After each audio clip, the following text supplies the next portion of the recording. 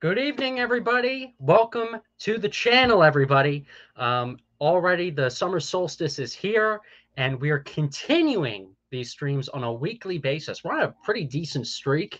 Um, often, usually with this streaming series, we can go for like two, three episodes in, and then something big happens that we have to handle as a team, or we got an event somewhere, and oh, we can't do a stream. Tune in next week, guys.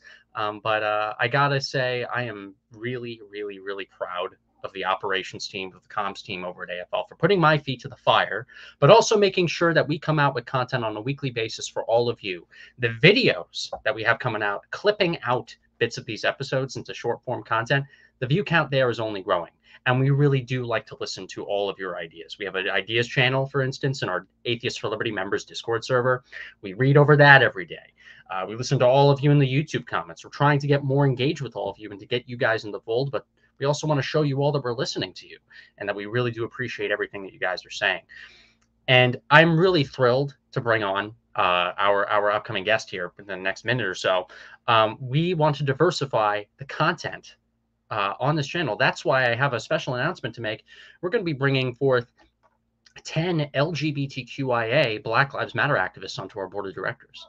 Uh, we really care about diversity so much that, um, you know what, mission aside, uh, we're going to care about how you look and uh, how you feel more than what you think.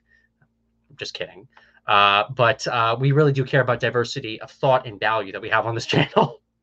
and so we want to talk about a variety of different topics. We get into politics a lot, we get into culture war topics a lot in relation to atheism, but I feel like we could really dabble more into philosophy. And so I'm really happy uh, to uh, to see conversations that we're going to have here tonight, because not only do we uh, fight for enlightenment values here at Atheists for Liberty, but we seek to learn from the greatest minds of the 21st century that list of great minds is only increasing. And it's thanks to all of you and all of your recommendations that that's going to be continuing far into the future. But I want to state our monthly uh, our member of the week. Uh, that is going to be Graham King. So, guys, be like Graham and become a member today at atheistsforliberty.org. All donations are tax deductible. We're a 501c3 educational nonprofit. We have awesome events in our Discord server. We're promoting more of our content online. We fight for church state separation. We're having more events throughout the United States and online events for people around the world to tune into. It's thanks to all of you really donating to a growing nonprofit that's making more and more of this amazing content possible. So be like Graham, guys, and sign up today. There's awesome benefits listed on the website. It really, really means a lot. So without any further delay, I will introduce our guest. So Jeff Lowder is based in Seattle, Washington, and is best known for co-founding the Internet Infidels, the group that runs infidels.org one of the first atheist websites on the internet and a major site for atheistic philosophy of religion.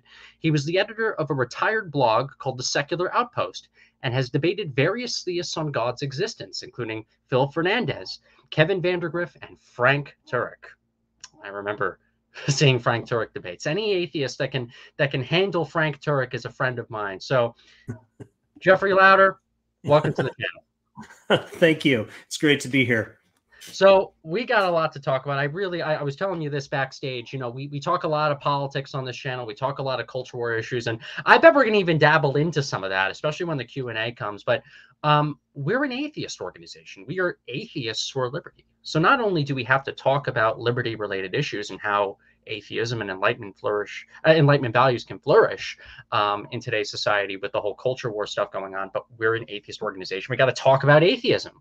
We got to talk about the things behind atheism. What makes atheists different from theists? What makes our arguments different and better than religious ones? So I'm very glad to have you on. I really want to say I appreciate you. I appreciate you for your service, sir. But I appreciate you for being one of the first atheists on the internet um, to be combative against dogmatic religious claims. Um, it's people like you that have kind of paved the way for us, paved the way for this channel, paved the way for our opinion piece, our newsletter. We're one of many different atheist groups out there. So um, my hats are off to, to people like you always for for making things like this show possible. Because you know, if you didn't do it 20 years ago, blogging and, and debunking Turek, nobody at that time would have. Well, thanks. It's great to be here. So we'll get into a few different questions. I want to thank uh, Justin Vacula uh, too for for helping to uh, formulate some of them. Justin's suggestions are always uh, always great when it comes to getting amazing, good quality guests on the program. Um, and he wrote a bunch of really good ones, and we took a few from them. I know you were taking a look at some of them too, and um, we we formulate them into some good uh, some good topics here. So you're known for promoting naturalism. That's one of the big things that you've done with one of your old retired blogs, and it's a big non-religious identity. Uh, there are a lot of atheists who I've talked to at atheist conferences and events that say, "Okay, do you believe in God? What do you call yourself?"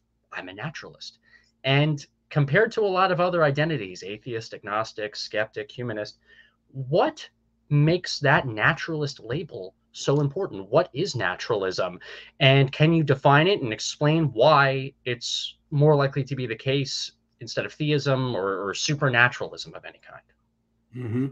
yeah so the the idea is that reality seems to have two parts to it um, the mental and the physical, at least what we would call concrete reality.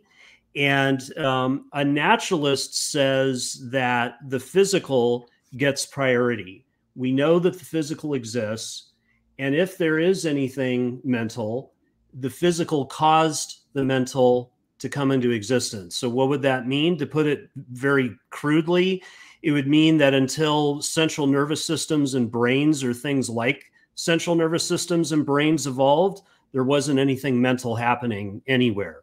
Um, the opposite point of view is um, supernaturalism, and it says it gives the mental the priority. It says that the mental exists, and if there is anything physical, the mental caused the physical to exist. So it could be that you know there was just a, a, ghost or a spirit or God um, uh, or it could be that something uh, you know supernatural decided to create physical reality and so then you get into things like theism which say that the underlying mental reality is a, a single person a perfect supernatural person that somehow caused the physical universe to come into existence so naturalism and supernaturalism are perfect mirrors of each other or counterparts to each other theism is a very specific uh, version of supernaturalism. Uh, so when you say you're an atheist, all, all that tells us is, uh, depending on how you define the word atheist, it either tells us you don't believe in God, or maybe you go further and define atheist as uh, someone who believes God does not exist. But regardless of how you define it, that doesn't really lay out a worldview. Naturalism is a worldview because, uh, or it's most of a worldview because it gives you a much more comprehensive view of, of what concrete reality looks like. Um, and I, I'm using the word concrete because there may be a third, what some people call a third realm of abstract reality. Um, uh, and if that exists, there would be abstract objects like numbers, propositions, sets, possible worlds, states of affairs, whatever. But we can sort of leave that over to the side because if they exist, they don't cause anything and they're not the effect of anything. They're just sort of there. Um, in terms of what can be a cause or an effect, um, uh, what we think we know is that there are mental things and physical things, and people, uh, most people would agree that both exist. There are eliminative, eliminative materialists who would deny uh, that there's anything mental, and there are eliminative idealists who would deny that there's anything physical. But most people would say that we have both physical and mental stuff. And the question is, how do they fit together? Um, you know, uh, you, I guess you could you could be an atheist and be a supernaturalist, but that would be uncommon. Most yeah. atheists are naturalists because they say not only do they not believe in gods, they don't believe in demons or angels or spirits. Um, uh, they don't believe in any of that stuff. Um, and the reason they don't believe that is because they believe that nothing mental happens without something physical happening. Mm-hmm. Uh, so if there's no brain, no central nervous system, no neurons, there is no mind, and therefore there's nothing mental. I remember um, during my high school years and and, and college years, uh, I would always interact with some interesting spiritual types on campus uh, whenever I was trying to promote atheism or, or engage in any kind of student activism. Uh, I'd always meet every now and then, you know, a kind of um, blue haired so called atheist. Uh, who says, I'm an atheist, but I believe in ghosts. I'm an atheist, but I believe in spirits, Thomas. And it's very insensitive. It's very uh, uh, insensitive of you to uh, uh, to go after the supernatural. So I'm, I'm assuming they would they would be within that kind of uh, atheist but supernatural kind of camp. The uh, the grifter the grifters of of the uh, religious culture wars. I, I would argue that they are. Yeah, you could divide supernaturalism up into two branches. One branch is personal supernaturalism, which says that the underlying you know mental uh, uh, entity or entities that explain the physical universe is a person or like a person. And you know it could be limited to a single person which would be monotheism or it could be multiple persons which is what people usually think of when they say polytheism. But the other branch would be impersonal supernaturalism. Um, and that doesn't really get talked about uh, as much uh, among atheist groups i think. But um, the kind of person you're describing, yeah, they're an atheist, but they're also an, uh, an impersonal supernaturalist because they they, they believe in uh, ghosts or or spirits or whatever. So um, I like the word naturalist because it um, it's uh, it's more descriptive. Uh, you're you're not only saying you know what you don't believe which is you know i don't believe in god but you're saying what you do believe which is that you think the physical uh, ultimately caused the the mental to exist. Yeah. Um, and and you don't get that kind of description if all you say is you're an atheist. Yeah. Uh, you know, I I I, ra- I rightfully tell people that that atheism is not a belief system of any kind. It doesn't really solve um, a lot of philosophical problems that we have as a society. Um, I think it's very important for you to call yourself one in order to uh, politically and culturally um, uh, remove stigmas that are in society against non-religious people. Uh, but but in order to live a more fulfilling life, you have to have a you know a bigger framework when it comes to this stuff.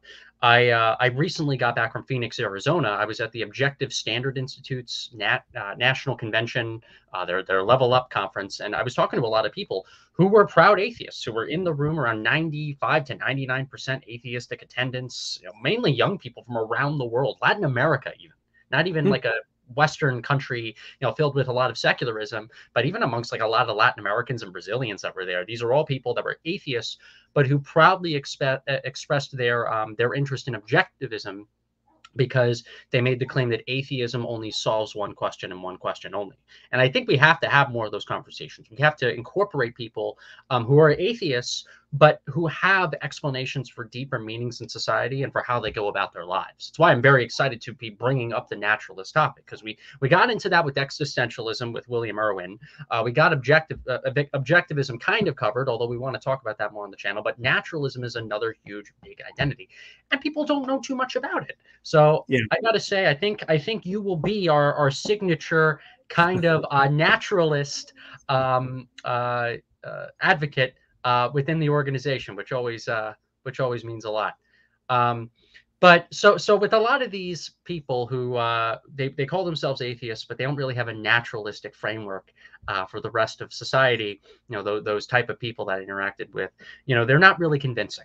They're not really convincing most of the time. I was able to brush past their stuff a lot, and you've uh, had a lot of experience with brushing past a lot of ridiculous arguments, including from plenty of our favorite Christian apologists throughout the years. So you haven't been really persuaded by these apologists like you know the William Lane Craigs of the world. Um, you know, he provides a lot of these kind of moral arguments and evidence for theism from this kind of intellectual perspectives that unfortunately, uh, I think too many uh, too many people from these kind of intellectual high backgrounds on Twitter are starting to buy into. If you could just spend a few minutes, can you explain why the William Lane Craigs of the world and his moral arguments are, are kind of bogus. Um, his his his arguments still don't hold weight in 2023. Yeah, uh, I'll begin by saying that although uh, I think we have to, you know, uh, there's there's a bell curve of of arguments uh, for God's existence, and there's a bell curve of thinkers um, who've argued for God's existence. Um, you know, what I think we're going to be getting into today is probably, you know, uh, over on the right hand side of the bell curve. I, I fully get the fact that what we're going to talk about is going to be more intellectual than I think what the average person on the street runs into. So, um, you know, I'm personally interested in reading academic philosophy, but I totally get the fact that that's not everybody's cup of tea. And that, you know, if you're just someone listening to this interview and, uh, you know, you're, you're talking to someone at, uh, on the street or in a, uh, in a, in a restaurant or whatever, um, they're probably going to use arguments that aren't as sophisticated as this. So I just want right. to sort of say that, you know, from the get go. But um, I, you know, William Lane Craig is brilliant. Um, he's he's a very smart man. He has two earned doctorates, and really he should have three, because I happen to know that he just wrapped up a 13 year study of metaphysics on abstract objects, that third realm that I was mentioning a few minutes ago.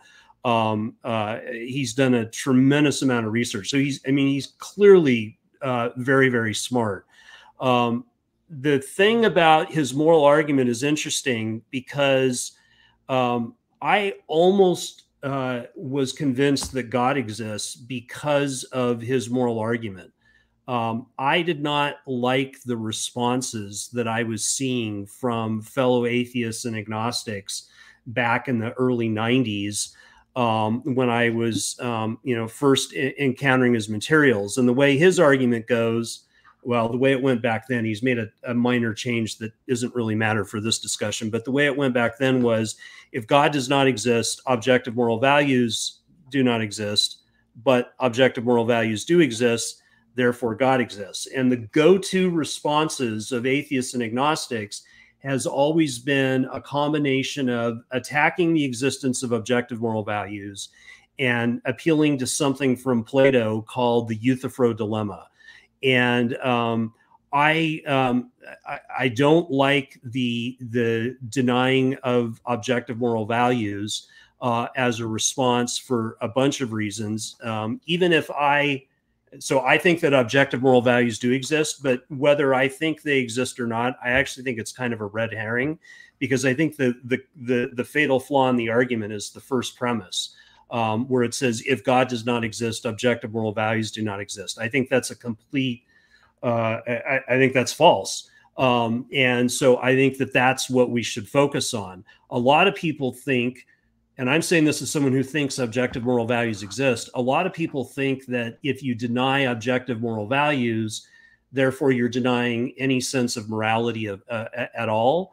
And uh, and in fact, when an atheist does it, I think it's actually kind of a PR mistake because it feeds the narrative that there's a conflict between atheists and morality, not an abstract philosophical right. disagreement, but like um, uh, a conflict with real societal implications because atheists are going to go eat babies or you know yeah. whatever absurd you know thing someone going to think of so I, I, think it it feeds into the hands of um, uh, religious uh, uh re, uh, certain members of the religious community because it, it, helps to perpetuate a stereotype against atheists.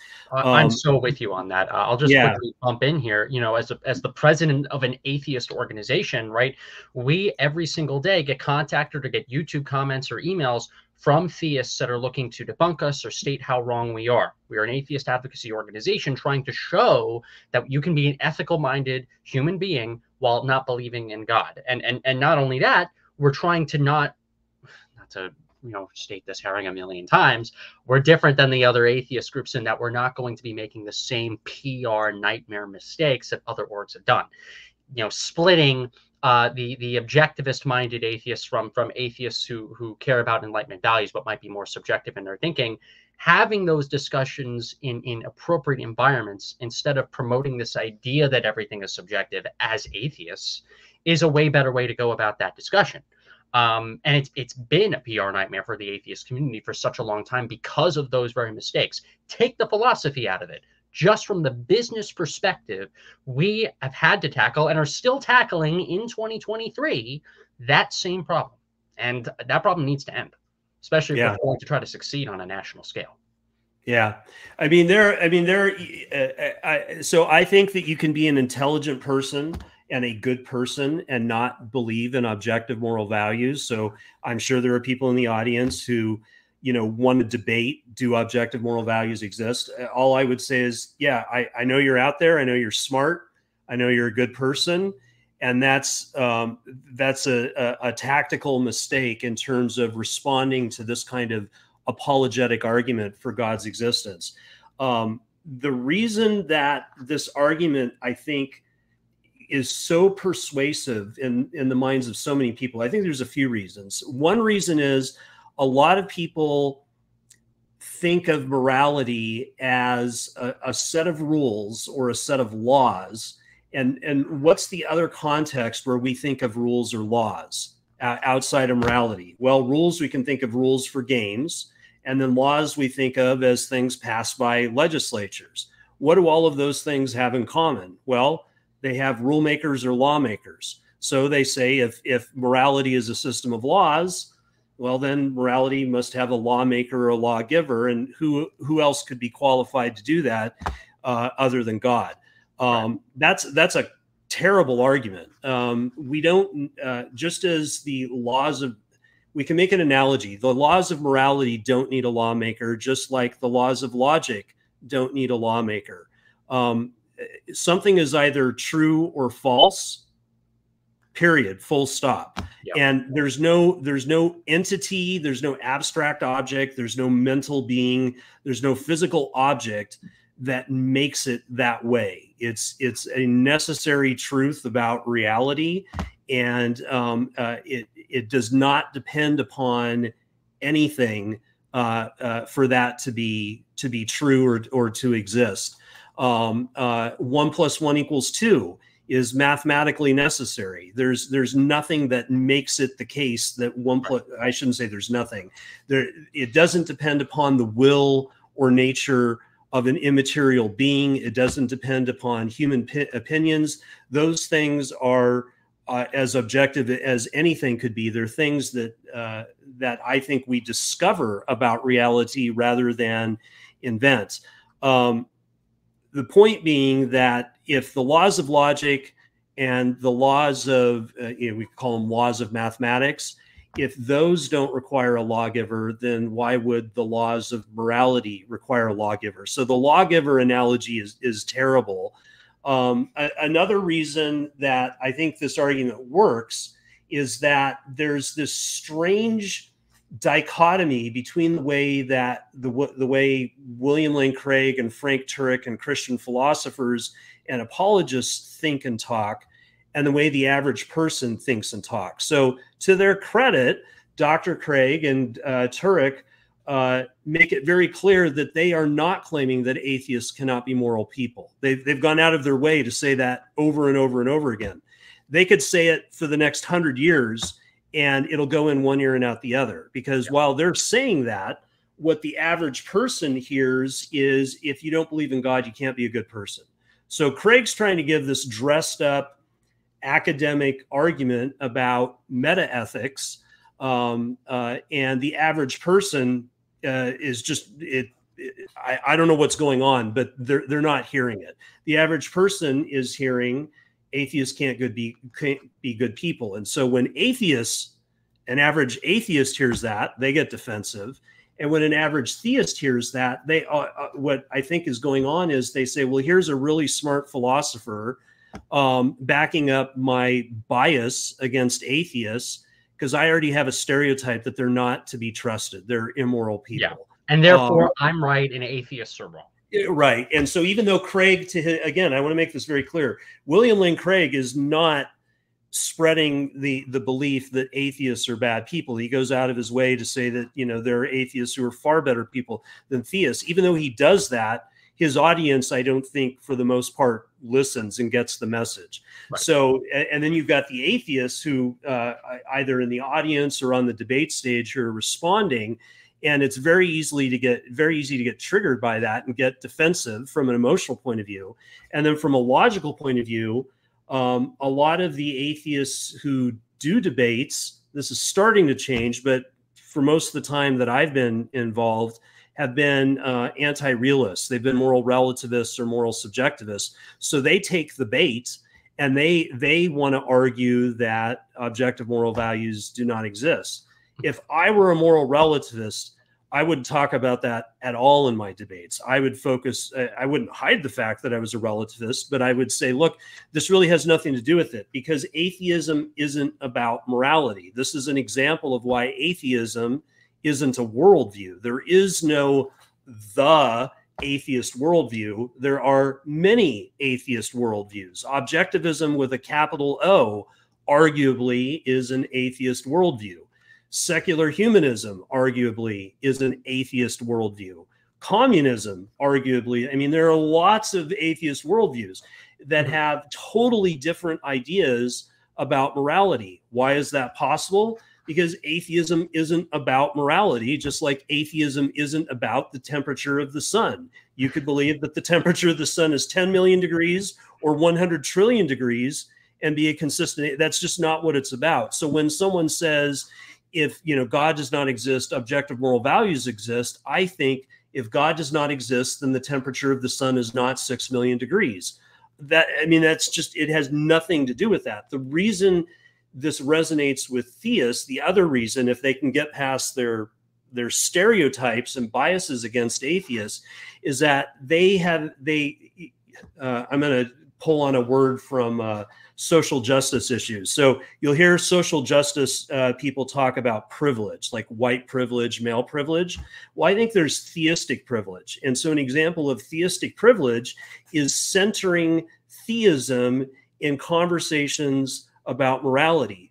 If you're a theist, you don't have to believe this, but it's very likely that you believe that morality is somehow linked to what God commands.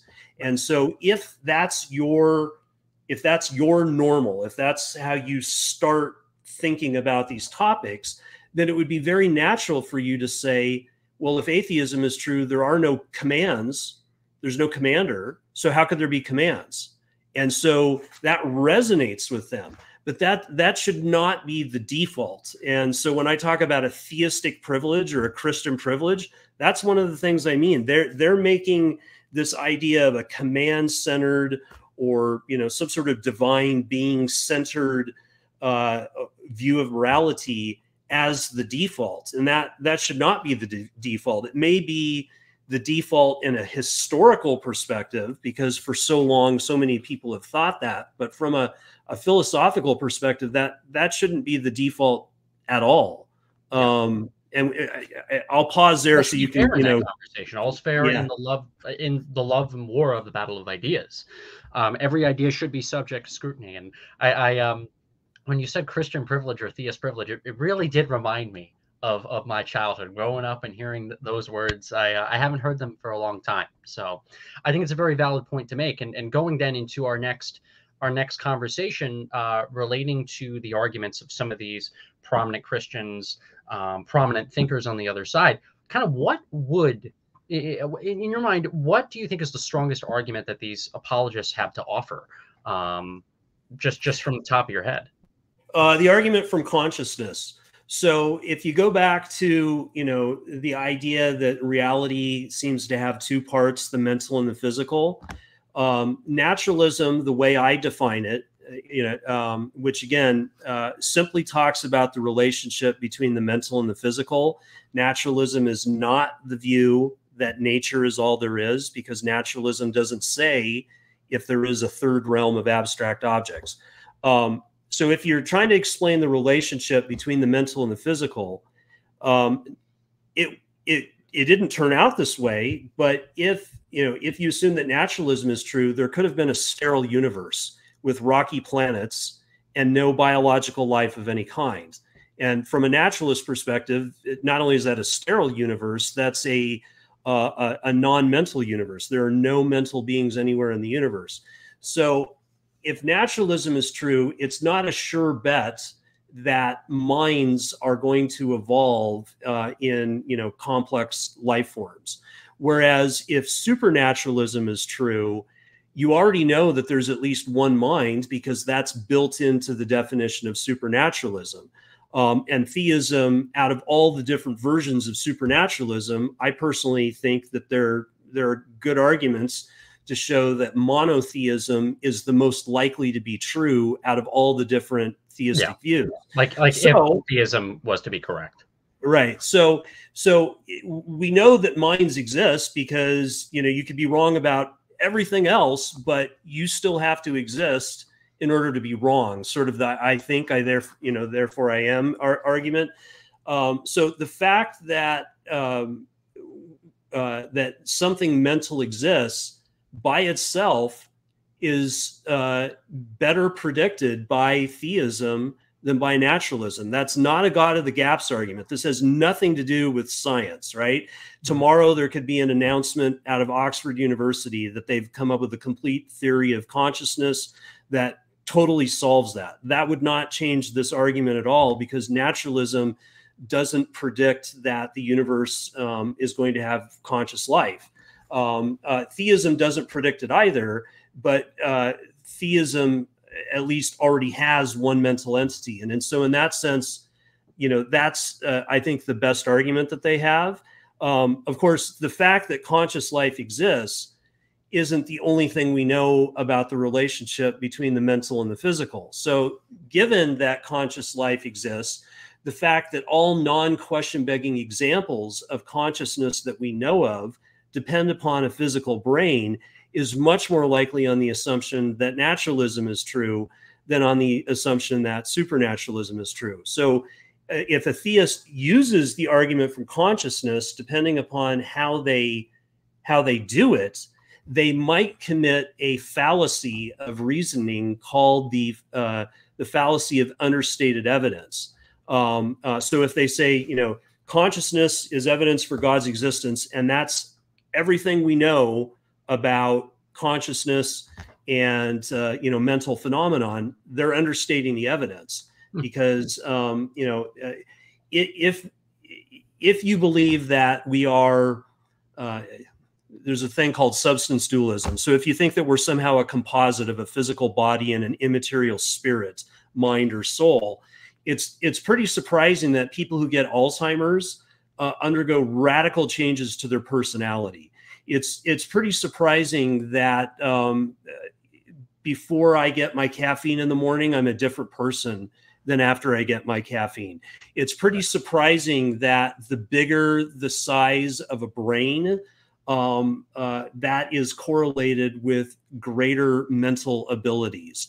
Um, it's pretty surprising that there was a guy in the 1800s who suffered a catastrophic skull injury. I think there was like a spike that went into his brain or something, but like the whole front chunk of both hemispheres was destroyed. Um, well, that's where your prefrontal cortex is. Uh, that affects the executive functioning. He went from being a very nice person to, I want to say, like a sociopath or something. All of this makes perfect sense on the assumption that the mind just is the brain um, but this is really surprising if some sort of dualism is true, and you know you can have minds without bodies. Um, so that that would be. I went through that really fast, but that would be an example of how, yeah, there is some evidence for God's existence. Consciousness is more likely on theism than on naturalism. But when you look at the full body of the evidence relevant to consciousness, then it's not so clear cut. I think uh, there's some people in the uh, in the chat. I'll showcase this. You got uh, Justin saying uh, Phineas Gage was the Spike guy. Yes, thank um, you. And uh, yeah, that, that Stephen was also mentioning that. Yep. Uh, they, they, were they were off by like a second of each other. So I'll give them I'll give them both credit. I'll give them guys guys. This is the pen, right? a plus for all of you. Woo! You get your you get your magical AFL points. Um, but yeah, it, that is crazy. Um, and I think it's I think it's um, very important for us as atheists to sometimes to sometimes give a bone to those we don't agree with, especially if there is evidence to show that there's a tiny little bit or a tiny little chunk that they're right. I think it shows that we are more mature and more free thinking than others. So that's another atheist for liberty point that we could get ourselves. So I appreciate you bringing that up. Um, so so going into the last main question then uh, because we're talking about morality, we're talking about um, objectivism versus subjectivism. Although we're going to have more objectivists on the channel, guys. So just letting you know, we'll do an objectivist themed episode. I'll bring either Craig Biddle on, or my friend Thomas Walker-Werth from the Objective Standard Institute on, or or, or Jon Hersey, or a few, few, other people on. Um, a common AFLW. We're going to showcase some Q and A's on in a bit, but we're going to have an objectivist themed episode. But um, uh, but pertaining to this main question, this is this is always one of the big you know questions that atheists get in the most simplistic ways. How do you, Jeffrey? How do you live a moral life without religion? So um, I've given this a lot of thought. I actually spend more time thinking about morality than I do atheism. Uh, although atheism uh, and the existence of God is what me, got me thinking about morality and metaethics. And I think um, I think there's a lot of confusion um, in a lot of camps on this because we don't start with a shared def- a theoretical definition of what morality is and so, you know, nature abhors a vacuum. Uh, people will use their own definition of morality, which they may not even have in their, you know, in the forefront of their mind. It may be more of a subconscious idea. But I found something a, a few years ago that for me really helped clarify things. And the idea was that you can simplify, maybe oversimplify what philosophers have written about morality and ethics for thousands of years into two camps. There is the the first camp you can call the social uh, uh, moral system camp that says that morality is a set of rules which I need to refer to my notes here, which define acceptable or unacceptable behavior towards other people. Um, the alternative approach is called the Socratic moral system, which says that morality is a set of rules which defines acceptable or unacceptable ways for living one's life, including situations which involve other people and including situations which do not. So on a Socratic moral, so if you know you're stranded on the desert island, if there's nobody else there, the social moral system says that there is no morality. There's there's uh, because you, there's no one for you to have moral obligations to. The Socratic approach says that even if there's nobody else there, um, you can still be more moral or less moral based on you know what you do relative to yourself and so using either of those definitions um, i think helps to clarify the question how do you live a good life and so um, that leads to the other insight i had uh, a few years ago when i, I ran across uh, a different philosopher um, if you if people in the audience have taken uh, uh, philosophy courses or courses on ethics, then they're probably familiar with Immanuel Kant's categorical imperative. Um, I, I might be a weird person who believes in objective moral values because I've never been able to make sense of the categorical imperative. I know what it means, but where I'm going with this is the categorical imperative is named that way because it's supposed to be the opposite of a hypothetical imperative. So a hypothetical imperative says if you want X, do Y. A categorical imperative gets rid of the if you want X part. It just says you're supposed to do Y, period, full stop. I understand what that means. I've never understood how that would work. Like I can imagine myself being convinced again that God exists. I still wouldn't believe in a categorical imperative Right. Um, and uh, there are a lot of people, I think, uh, think that you have to assume that there's a categorical imperative. And then the only way to make the categorical imperative work is to add God into the equation. I think that's confused on so many different levels. But one of the levels it's confused on is that they're actually hiding a hypothetical imperative. So that the theistic hypothetical imperative is if you want a good relationship with God, then obey his commands. If you want to get into heaven, obey his commands. If you want to avoid hell, obey his commands. There's still a hypothetical imperative. No one's ever actually been able to explain the categorical imperative to me in a way that makes sense. So if we're left with hypothetical imperatives, um, wh- what are the hypothetical imperatives that translate to a good life? Well, I think part of that is um, very objective because it's based on facts about human biology. We know um, that across cultures and across time, there's actually quite a bit of agreement on uh, uh, uh, natural human desires. Um, and there's a guy named Larry Arnhart who wrote a book called Darwinian Natural Right. Um, I don't know if he's an atheist. I don't. Uh, he's definitely not a Christian, But um, I hear the he, word Darwinian, and I think I automatically attribute like fifty-one percent chance. yeah, yeah. Um, but uh, he, I, I, I think he might be agnostic. I'm not really sure, but um, he, his book lays out all of this evidence from like anthropology and sociology, and it explores all the different desires that are universal across human cultures uh, that are rooted in objective facts about human biology. So, connecting what I just said with hypothetical imperatives, I don't know what it means to say something is just good, period. Sometimes I think I do. Some, some days I think I don't know what it means, but I know for sure what it means to say something is good for something else. So I understand what it means to say something is good for human beings and um, it's very it, it, it's an empirical question what is good for human beings you can go investigate that and you can come up with answers answers that uh, you know you can get information that goes back to those two views of morality um, what are the set of rules that um, help uh, people to get along in groups um, and you know there are things that are objectively more conducive to that, and there are things that are objectively less conducive. There are things that contribute to human flourishing and things that don't.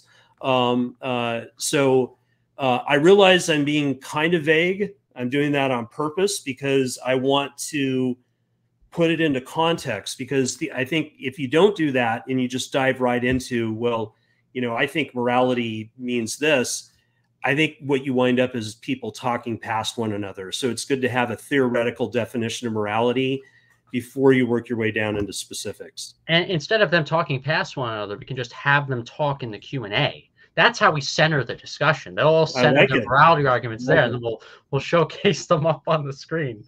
Uh, so so uh, wonderful batch of regular questions. I want to thank uh, I want to thank yourself, uh, Jeffrey, for looking looking over them. But I want to also thank Justin Vacula uh, for for um, for giving them as great suggestions. Hats off to you, Justin, as always, my friend. Um, so we're going to get into Q and A uh, time, everybody. But before then, I just want to make a few little announcements, guys.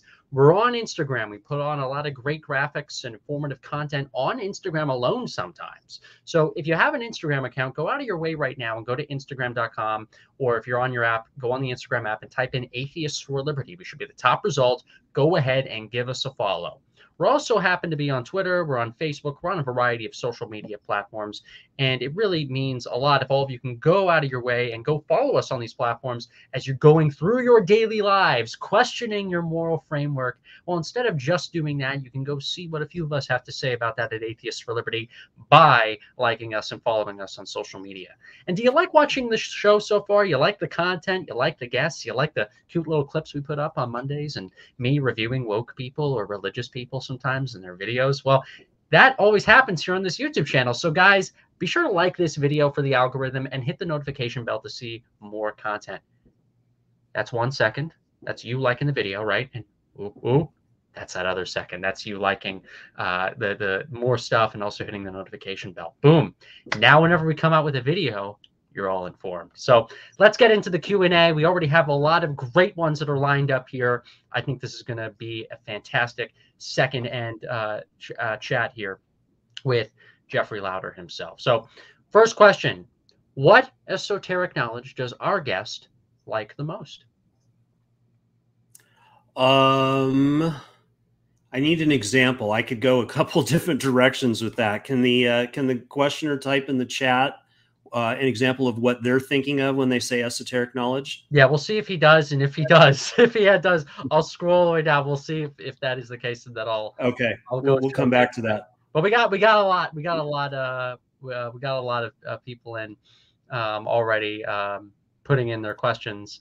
Uh, we got him also asking, uh, I'm going to get microchipped and there's nothing you naturalists can do. oh, there's nothing that we can do because we live in a free society. So go ahead and get microchipped. Uh, AFL approved.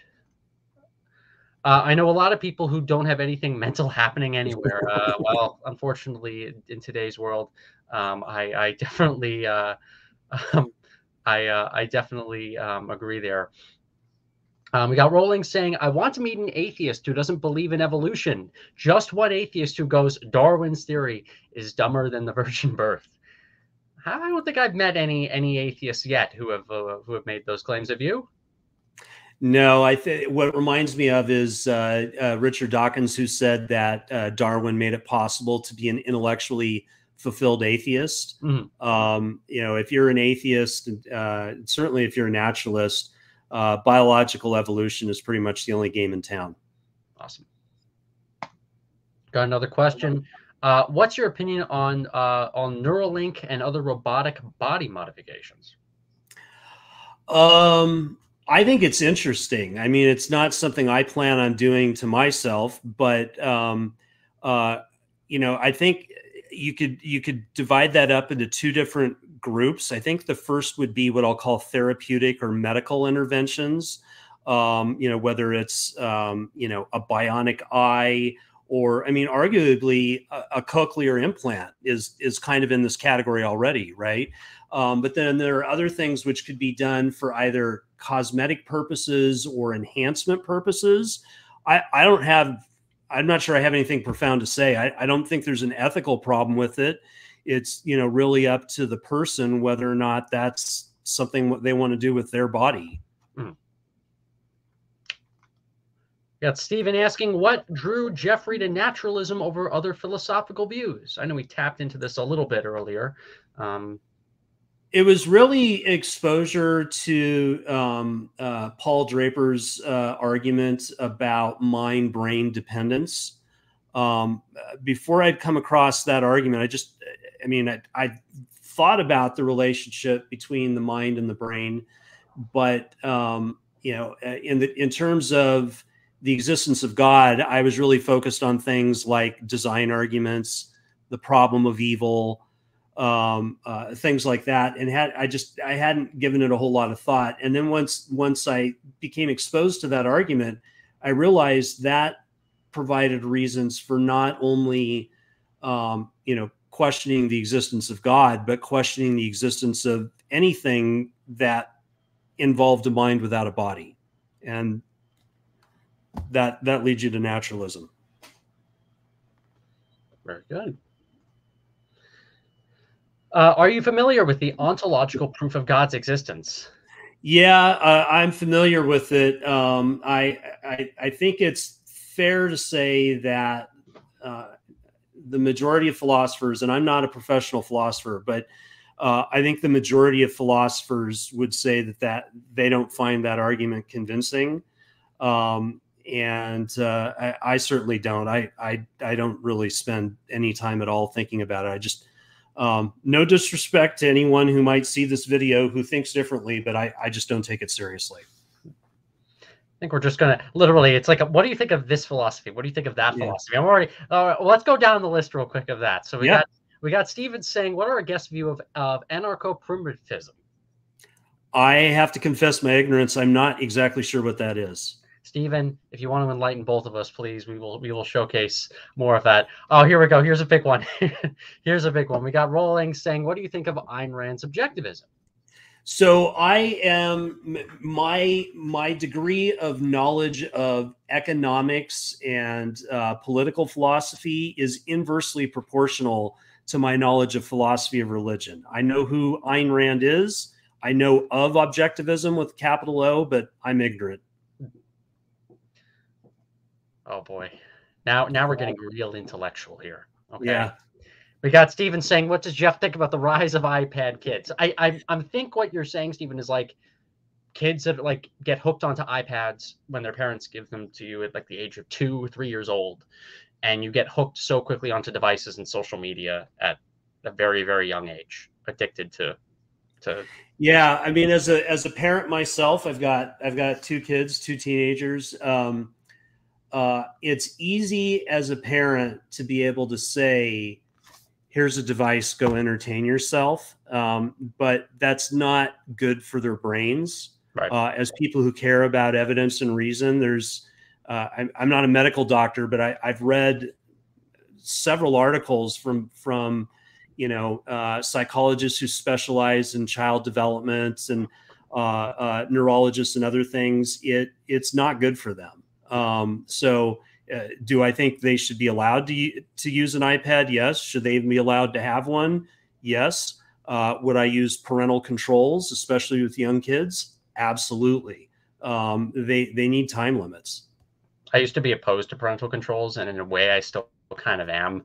But now, here's where the wokeism part comes in, guys uh, now with our entire apparatus of social media and even kids content being filled with different kinds of dogma not, not just religious dogma but new forms of political or new kinds of religious dogma um, i'm starting to question that myself uh, more, more evolution on thomas's views on that to come in the future um, we got rolling saying that the YouTuber Alex O'Connor has made some videos explaining why morality cannot be objective.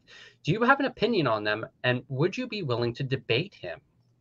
Hmm. Uh, I I might be willing to debate him. Uh, I haven't. I know who Alex is. I I follow him on Twitter.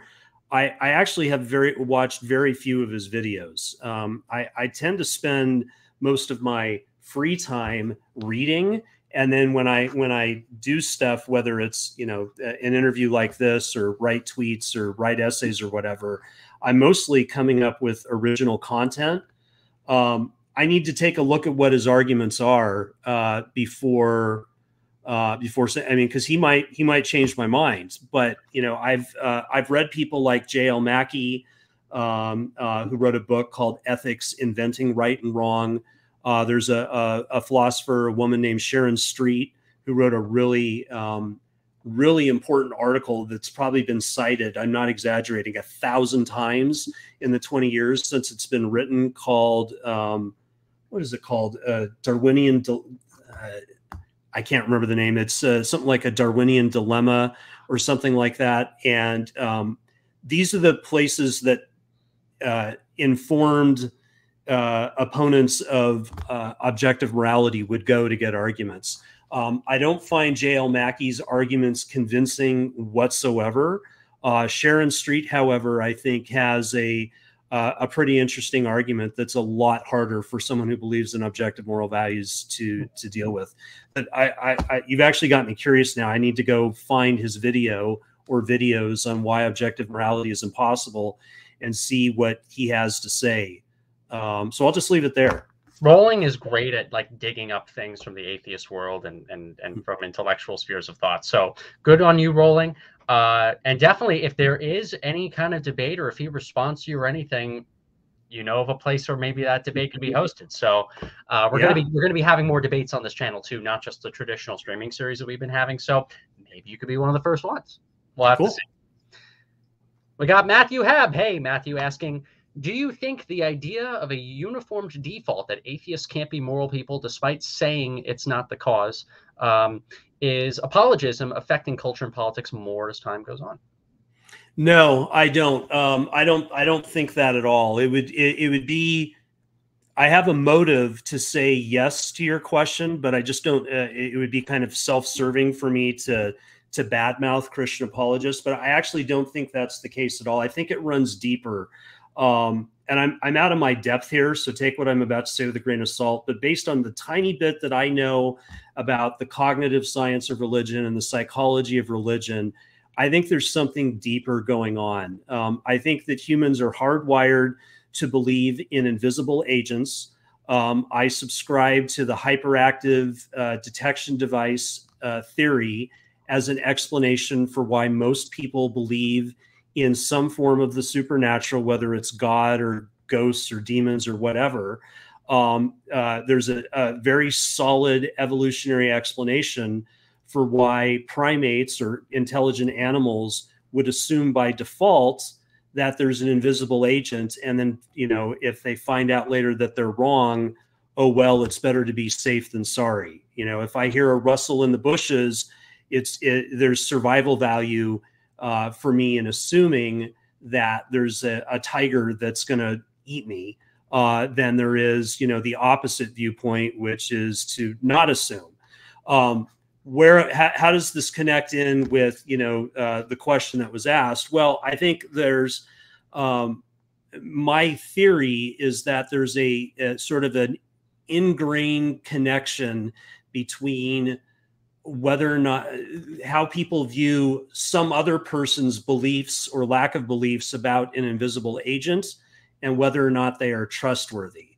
Um, and the, the reasoning would go like this if you believe in an invisible agent, especially one like a god that can punish you or reward you, you're less likely to act immorally because secret violations of morality are not possible. If you say that you don't believe in an invisible agent, then you are the kind of person who must believe that secret violations of morality are possible. And so, everything else held equal, people who believe in invisible agents are more trustworthy than people who don't. Um, that's what I think is going on. And so, um, even though the apologists aren't making that argument at all, I think that just by bringing up the topic of morality, they're tapping into that hardwired bias.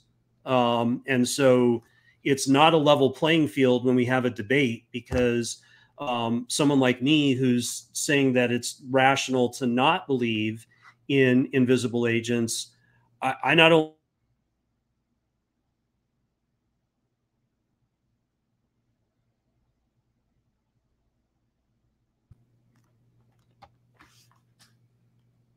Oh, I think I think we got you back. Yeah, I think there was a connection issue. How much did did my answer get cut off? Around the last ten seconds of it did. Oh, okay. Yeah. So I just I think I think people like me have a little bit of an uphill battle because I I not only have to win the intellectual debate, but I have to earn moral credibility. Um, uh, because uh, I think just intuitively, people don't put as much thought into it as I just said, but I think there's just sort of an intuition that if someone doesn't believe in invisible agents, whether they're gods, angels, Santa Claus, leprechauns, whatever. And I'm not trying to trivialize things by saying they're all equal to leprechauns, but whatever, um, that they can get away with stuff. And so they're not trustworthy, even if the apologist never makes that argument. Stephen, I'll make you a deal. Okay. If you upgrade to free thinker, I'll go ahead and say it. if you agree, you got to put that in the chat. If you agree to upgrade to free thinker, I'll go ahead and say that. I was like, hmm, maybe I should tell him to do a super chat. No, no, membership upgrade. Membership upgrade. Then I will say it. I'm going to say it. Well, if you upgrade to Free Thinker today. And guys, by the way, if you upgrade your memberships or become a member today at atheistliberty.org, we have a lot of cool membership benefits on our website. We mail you laptop stickers, lapel pins, signed books from famous atheists all around the country. Um, we really do want to show that your contributions mean a lot and that we care about you. We care about all of you doing the best in your activist and intellectual lives. Uh, and we, we really do want to reward our members when they upgrade or when they become members. So it means a lot. Wonderful way to me for me to put that in there. So uh, so so Stephen, if you do that, we got a deal. We got a deal right there.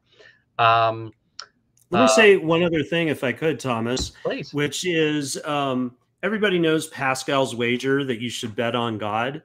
Um, I would like to suggest an answer to the worry I just brought up about atheists being less moral people because of secret violations of morality. I was tempted to call it Lowder's wager, but that that would be kind of egotistical. So instead, I'll call it the morality wager, which is that um, whether you believe in God or not, you shouldn't bet on God existing.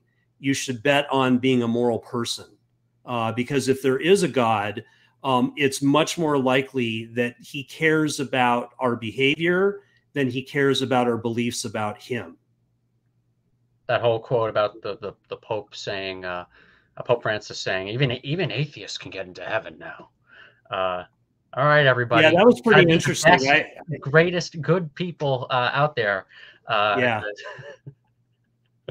Yeah. Uh, now Christians who hear my morality wager are gonna are gonna you know uh, argue and say ah but you know you're not saved by works um, you have to believe yeah that that is what Christianity says but um, I'm not um, I'm not blindly assuming that if God exists Christianity is true so um, you know out of all the different versions of supernaturalism I think theism is the most likely but out of all the different versions of theism um, I think that Abrahamic uh, religions, Judaism, Christianity, and Islam, are implausible.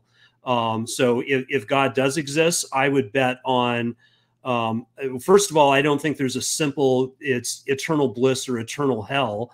Um, and then secondly, whatever happens to you, I don't think it's uh, I don't think it's based on your beliefs so much as it is on your behavior. So if you want to if you want to play the wagering game, uh, bet on being a moral person. I think that's a good way to good way to frame it.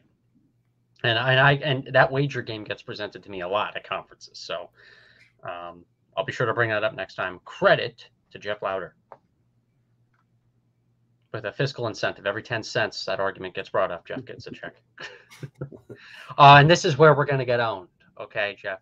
We got Steven asking, what does an atheist think about how gifts end up under their trees on December 25th each year? Did they evolve under the tree? That's a big gotcha. That's that's the new viral TikTok clip of the Atheists for Liberty guys getting owned. I, I don't know, Stephen. I think you got us because evolution can't explain that. Oh, wow. I'm speechless. I don't know what to say to that. Our careers are over. I think we have yeah. to end the stream right now. Um, that's it. we got Justin asking another common question, atheist. Oh, yeah. um, how do you find meaning in life? Uh, I, will just make a quick commentary before you answer that. From the from the AFL perspective, unfortunately, in the culture wars now, there's been this kind of secular, almost like a secular argument against the atheistic viewpoint that, well, we don't have mean we don't have meaning and now we all need to go back to religion. We need to go back to church or else we're going to have this god-shaped hole within us. We can't have we won't have any meaning. All the last 20 years of secular activism is now out the door because now we're going to all of a sudden get get a high off of this god-shaped hole argument.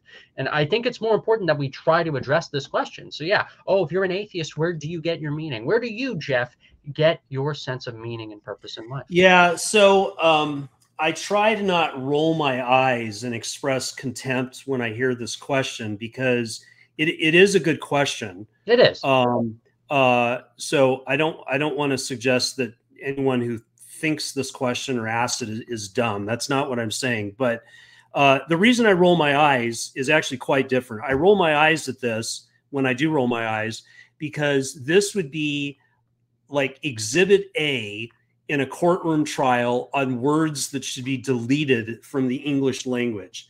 The expression, the meaning of life, is almost worthless in conversation. You ask three people, what do they think they mean when uh, they ask, what is the meaning of life? And you're bound to get at least five opinions. Um, nobody knows what the hell that question is even asking. So if we don't know what the question is asking, how how can you expect to get first of all get an answer that's responsive to the questioner, and secondly, uh, how, how could people uh, agree on what it means? So what I always say is. I need you to ask the question in a way that does not use the word meaning. Yeah. Um, and and what you usually find out is that the person is worried about the final outcome of the universe. They'll say, well, you know, if God doesn't exist, nothing I do now really matters. And the word really is doing a lot of work here, and it's got a bunch of hidden assumptions built into it. So, why do you say really with a lot of oomph when you say the word really? What, is, what does that really mean? And then they'll replace the word really with ultimately. Okay. What do you mean by ultimately? And, and what you eventually get at um, if they're able to organize their thoughts, is this idea that, well, you know, whether I'm a good person or a bad person won't matter five billion years from now. Okay, uh, or it won't matter when the heat death of the universe happens. Um, and and then you ask, but what do you mean by won't matter? Um, that's another word that is worthless um, in, in these in these kind of exchanges and it always seems to boil down to well it doesn't affect the outcome the universe is still going to experience a heat death, whether I'm a good person or a bad person. Okay, so you're telling me that if I add God in the equation, that I will change the final outcome? I mean, let's think about this. So, on the assumption that God exists and one of the Abrahamic religions is true, God has his plan, whether it's the Islamic plan, the Christian plan, the Jewish plan, whatever God has in mind ultimately is going to happen, right? Um, if you're a Christian, you know, Satan is going to be tossed into the lake of fire. and that's the end of him. And any angels that joined him in his rebellion, they're goners. Um, uh, anybody who's getting into heaven gets into heaven, um, and they can't sin when they're in heaven. Anybody who's going to hell, they're going to hell, and there's no possibility of, ex- of escape, no matter how repentant they are, no matter how much they want to love God. Nothing, nothing changes the final outcome if God exists. So if if what we're really talking about is when we talk about the meaning of life is um, the ability to affect the final outcome of the universe. You don't get that with God. So why would it matter if you don't get it without God? That shouldn't be what our concern is from a meaning of life perspective. What we should really be focused on uh, instead of affecting the final outcome would be um, uh, uh, transcending uh, our our nature by trying to orient the way that we live our lives so that um, uh, we can uh, enable ourselves and other people to, to live better. And how do you do that? Part of it is by getting educated. Part of it is by developing relationships with other people. Um, uh, you know, if you have children, being a good parent. If you don't have children, having good friendships, whatever your relationships are, doing, uh, pursuing a career that um, you know adds value to society however you define that. Those are the things that i think when i hear the question you know what gives life meaning those are the things that give my life meaning. And the fact that you know the universe in 1 trillion years or whatever is going to suffer a heat death i don't give a crap about that um i, I and i honestly I, I i have a hard time buying the idea that anybody gives a crap about that. People say that they do, but humans can't even comprehend the idea of a billion. Yeah. I mean, we talk about billionaires, but the human brain is not good at things on this kind of scale. So when someone says that, you know, they're all dejected and they're uh, they're anxious or they would be depressed if, you know, that if God doesn't exist and eventually not only is humanity going to go extinct, but the sun is going to swallow the earth up and the galaxies are going to spread apart and it'll just be a cold, dark universe. I don't think anybody really cares about that. They say they do, but I don't think they can comprehend it. And I don't think you can be afraid of something that you don't comprehend, not in that way. I mean, you can be afraid of, of yeah. things that are I didn't say that quite right, but I just I, I don't buy that people are actually upset about that because no. I don't think that they understand it in the way that they would need to understand it to be afraid of it. I think what they do understand is the idea that they're alive now and they can't imagine being dead when they're dead and that's the end of it lights out i think i think they can understand that but the idea of well you know i'm i'm upset because the universe uh, won't have conscious life and billions of years in the future, who cares? Uh, yeah. That, that, we're not, that we're not going to be around nothing. anyways, and our children's children's children's children's children are not going to be around as well. You know, this kind of reminds me of, of some of the stuff. You know, I, I, I scroll through TikTok late at night. I scroll through YouTube late at night. I, I always find an interesting science related astronomy video about the eventual heat death of the universe, and I've always been interested in that. Um, it is kind of scary. I will admit, as a, as a person, to think of the fact that everything will eventually end. But I think about mm-hmm. that for like 10 minutes and then I go and scroll on to the next video. and I think that most most people are that way when it comes to this topic. You know, uh, yeah, it is an interesting question to ponder about, but then we all wake up and we get on with the rest of our lives. No matter how crazy our lives are, no matter the different circumstances, I think yeah, I mean, a great, fantastic life or a life that needs a bit of improvement. I don't. Most humans don't don't think about that uh, that question for for that long amount of time. I agree. Um, I mean, I, I wish that um, uh, I was going to live longer than I expect to be alive uh, as a naturalist. But I think there's a real question about whether or not eternal life would be boring. And I, I think that this gets dismissed by theists.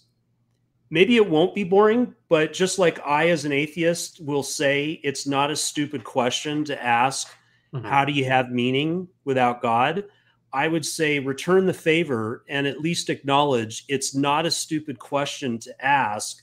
How would it not get boring after a hundred trillion trillion years of living as you know as a ghost or you know uh, uh, in the new Eden on Earth or whatever. May, maybe it won't be boring, but it's it's not a stupid question, and I would go farther and say I think it's right. an open question. It's a very um, open question. I remember right? Christopher Hitchens talked about how going to heaven is like worshiping an eternal i guess at the time kim jong-il uh, you know uh, worshiping kind of in an eternal north korean um, kind of sense of just constantly praising the dear leader for forever for eternity. Um, and i think a lot of religious people think in a certain way like many of us many humans in general think about like love and marriage for instance you know uh, dating and relationships for instance we all get obsessed with the idea of, of I guess is from the male perspective, courting a woman and then eventually going on dates and then and then putting the ring on her finger and then marriage and mm-hmm. this kind of sense of happily ever after. Not understanding that okay, then you have to live with that person. Then there's a whole new book, a whole new story um, with eventual problems and issues after happily ever after ever happens. Um, but we see everything through the context of that kind of that kind of Disney movie. Um, we see heaven through the context of, well, we're going to die and the rapture is coming one day, but then we're all going to ascend as spirits into heaven together. Um, okay, then what happens when you get there? Right? Mm-hmm. You, you mm-hmm. were saved from from the doom of, of the heat death of everything. Fantastic. Now, what's what's going on after that? You know, mm-hmm. Um, yep. it, that in its in and of itself is a scary thought to think of. You know, if you believe that there is uh, an afterlife. Yep. So um, we'll get into uh, one more question or comment, and then we will end the show from here. We got Jesse Cruz saying, "Heaven is considered life with God, and if God is happiness, a wholeness and joy, uh, without human issues such as depression and whatnot, it's eternal goodness. You get judged." Yeah, um, I, I've I. I, I, have I've heard answers like that before. Um, uh, I'm not questioning. Uh, I'm speaking hypothetically here because I don't think God exists, but I'm not questioning that um, if if heaven is real and people go to heaven, that it is uh, good and happy uh, when they get there. What I'm questioning is after a hundred trillion years, if it's still as good and happy as it was when you first arrived um, because uh, you're literally talking about an infinite uh, existence. So uh, I, I, I don't have a knockdown argument to prove that for sure every single person will get bored, but I mean, after doing anything a billion times, a trillion times, um, I think, I th- like I said, I think it's an open question whether or not it would get boring. Which is why I've run into a lot of people who say, you know, I would like to live longer than I'm going to live in this body here on earth, but I, I don't necessarily want eternal life. And some people would say, you know, I want to live a thousand years or, or maybe a million. But whatever the number is, there's a big difference between that and infinity. Right. Very, it's very short compared to infinity if you think about yeah. it. Yeah. Yep. So I think that's a good way to end it from there, guys. So I'll make a, a, few more announcements. So again, guys, join Atheists for Liberty today. A lot of the things we're talking about, a lot of the things we're doing across this country is happening thanks to all of you injecting your ideas and being a part of the discussion. And if you join today and become a member, I'm going to be refreshing my email inbox a few minutes after we chat here. We're going to be going to the Atheists for Liberty Discord server and hanging out, uh, cracking open some drinks and cracking some jokes too. Um, and I'd love for all of you to come in and give us your thoughts as to how you all thought the stream was. So we're going to be hanging out on Discord for a little bit.